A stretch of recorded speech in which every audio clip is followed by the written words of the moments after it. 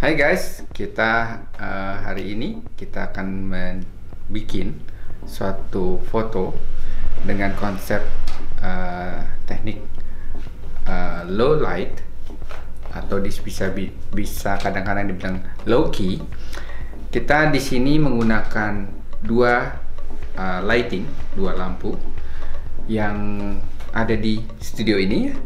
Itu kita menggunakan satu uh, 250 dengan octa box kemudian satu lagi menggunakan strip light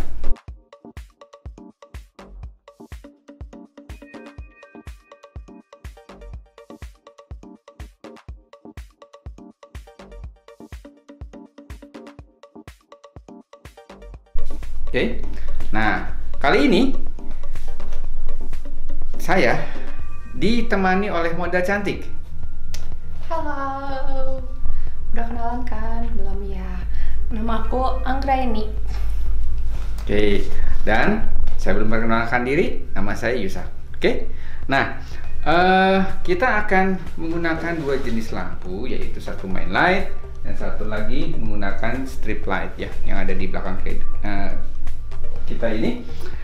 Uh, dengan dua uh, jenis uh, kekuatan yang berbeda.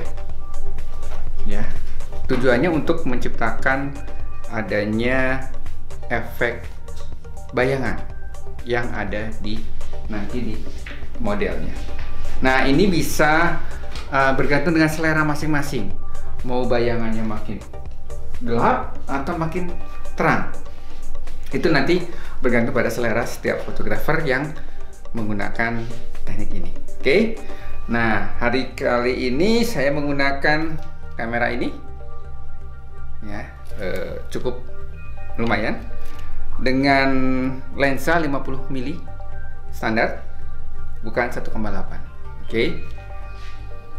Mari kita nggak usah berlama-lama, kita coba. Oke? Okay? Sip.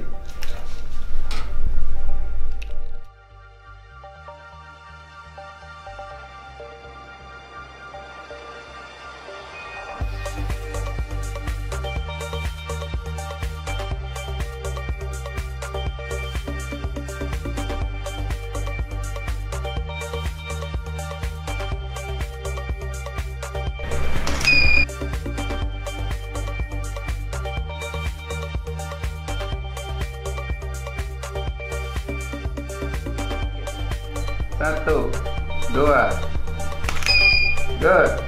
Tangannya ini depan nih, tangannya. Oke, okay, good. Satu, menurut dikit. Dua. Oke. Okay. Nah, kita lihat di sini ada uh, main light di sini. Ya, ini sebagai main lightnya. Karena di dalam di dunia luar kita kita hanya punya satu sumber cahaya itu matahari. Nah, nggak ada dua, berarti kita pun satu. Ini hanya satu.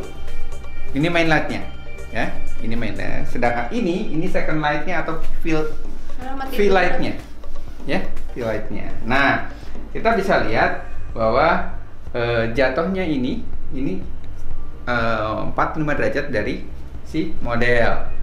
Sedangkan ini ngikutin uh, buat mengisi, sorry, bukan ngikut tapi kita untuk mengisi yang ada yang namanya uh, shadow ya. Kalau kita lihat kita matikan ini